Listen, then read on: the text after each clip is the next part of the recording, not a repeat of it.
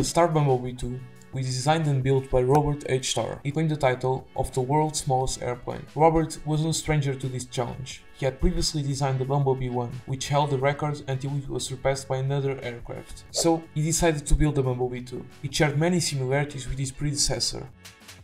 However, the Bumblebee 2 was smaller, lighter and packed with innovative features. Its power came from a Continental C85 engine, generating 85 horsepower. On April 2, 1988, the Bumblebee 2 took to the skies at Marana Airport in Arizona, reclaiming the title of the world's smallest piloted airplane. Tragedy struck during the third flight on the 5th of May 1988. The Bumblebee 2 had an engine failure during a downwind leg, resulting in a crash that destroyed the aircraft and left Robert Starr seriously injured. Fortunately, he was able to make a full recovery. Although the Bumblebee 2 had a short-lived existence, it still holds the record for the smallest piloted plane ever.